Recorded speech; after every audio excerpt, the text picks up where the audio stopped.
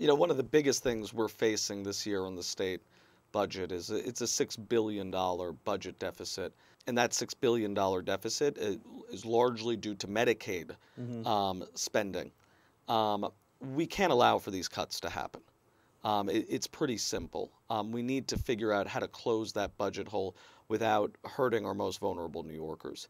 The unfortunate thing I would say is there's a lot of cynicism out there. Lots of people behind closed doors think all of these things are charity, uh, and they're not. It is um, absolutely terrible, um, and it's because those people don't value the people who are taking those services. They say, well, they're not really productive members of society, and it's it's downright disgusting. Mm -hmm.